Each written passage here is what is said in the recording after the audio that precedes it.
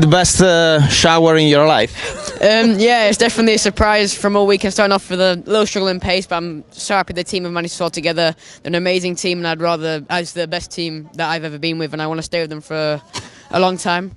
And yeah, I think they've done an amazing job this week. And yeah, it's definitely the best shower I've had in a long time.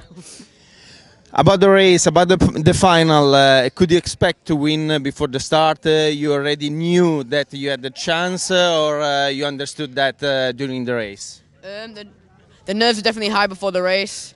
But yeah, I was, the team also definitely said to me that I had the chance, so I knew I took it on board. I did what they said, and it all planned out well, and exactly what they said it would.